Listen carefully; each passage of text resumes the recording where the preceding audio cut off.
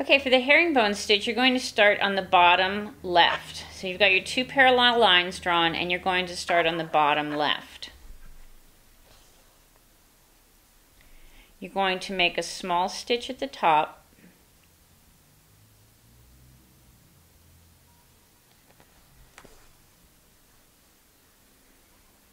And now your next stitch, you're going to come over to the left and when when you bring your needle back up, it should be directly below that leg.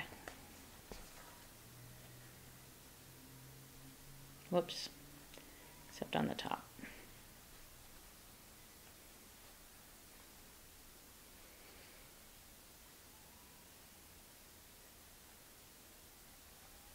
I'm right above there.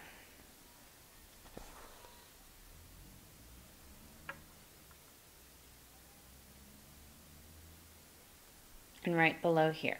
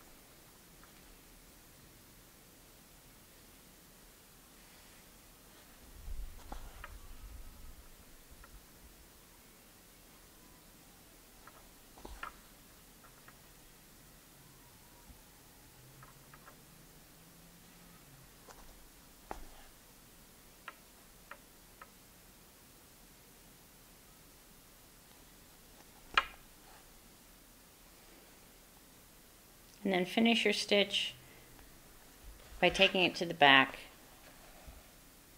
and knotting it.